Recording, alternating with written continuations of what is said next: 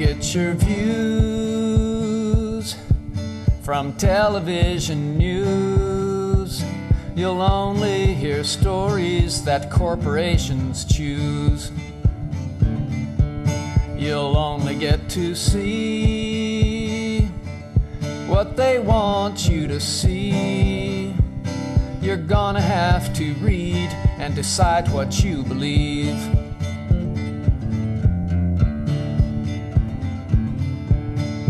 All watched in horror 911. The planes hit the towers and the towers came down.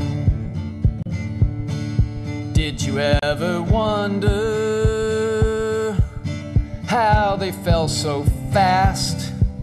Well, maybe that's a question that we're not supposed to ask.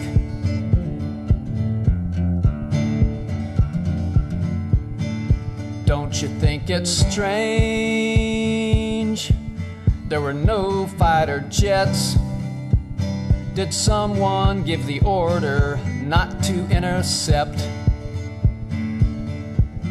And if they really scrambled,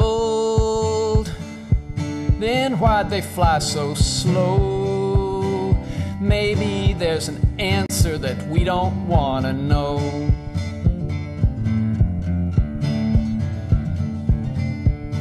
And where was our president?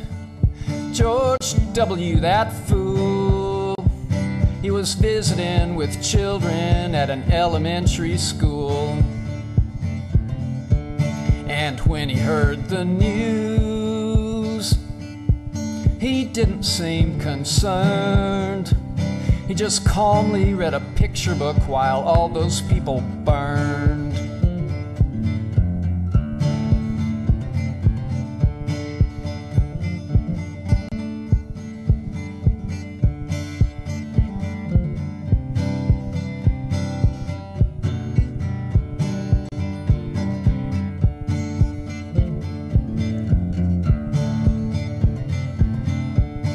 The Bushes and Bin Ladens.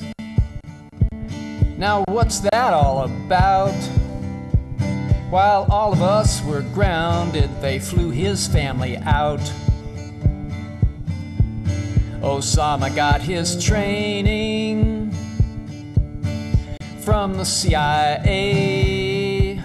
Our soldiers took Afghanistan,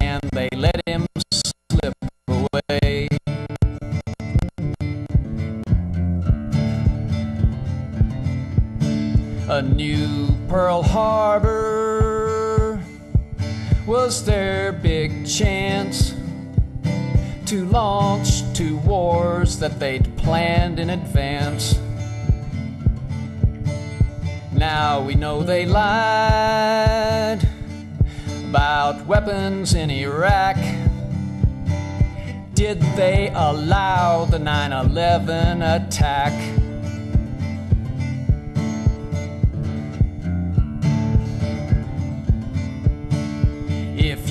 You your views from television news, you'll only hear stories that corporations choose.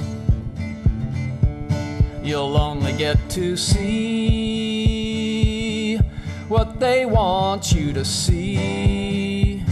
You're gonna have to read and decide what you believe.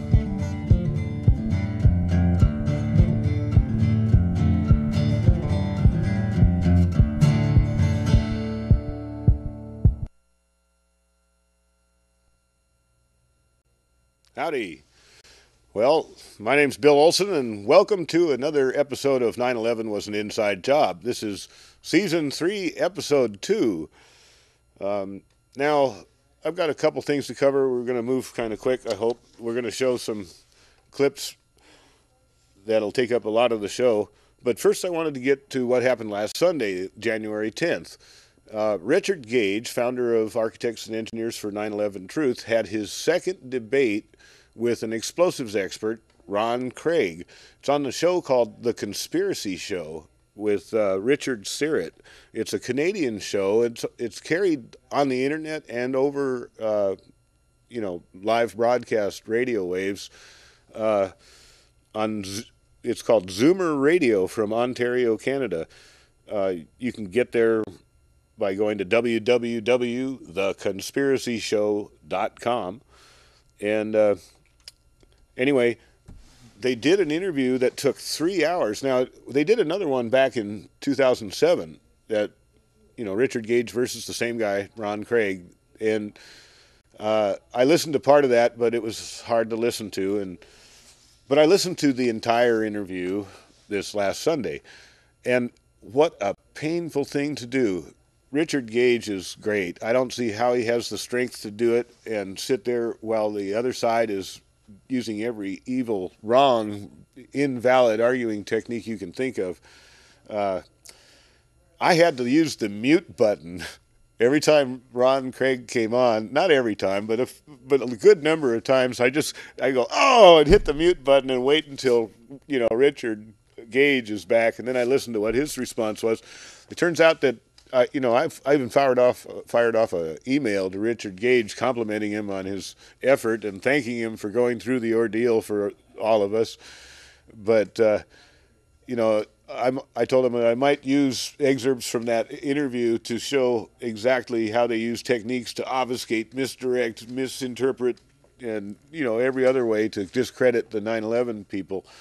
Uh, this guy left questions unanswered and ignored key points of evidence just so he could make his points.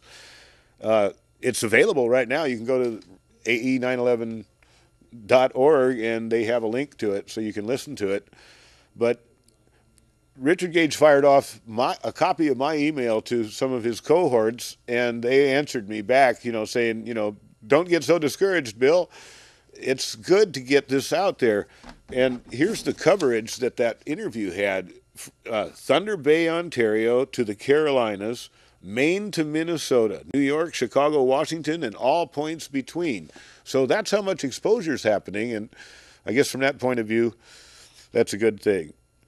Now, I'm moving on to another subject. Uh, there's a good source for an, uh, analytical news uh, that far surpasses Democracy Now. Democracy Now is more what you'd call mainstream nowadays. I, it's sad to say that.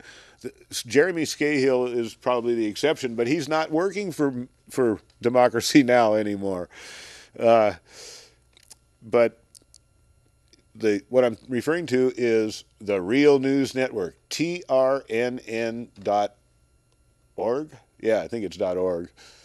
The Real News Network, and I'm going to show some clips, three clips in a row. We'll, we'll break in between, but uh, I'll show three clips this show that are from the Real News Network. The first one I want to show is, uh, well, basically, it's talking about how the right wing nationalists have succeeded in their agenda. Uh, and it's this is from a black point of view. Usually, you hear a black point of view trying to support Obama or um, you know maybe attacking somebody who didn't support Obama. And there's an awful lot of white point of views that are the same alignment. So this is a completely refreshing point of view, and I, you know, well, judge for yourself. We're going to play cut two, and here we go.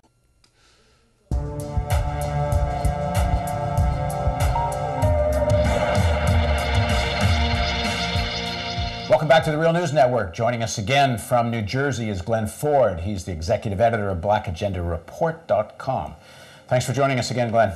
Thank you. So let's talk geopolitics. Coming out of 09, looking into the next decade. What concerns you? What excites you? The generalization of U.S. war. Under President Obama, there seemed to be no stops nothing between Washington's desire for a general confrontation with real and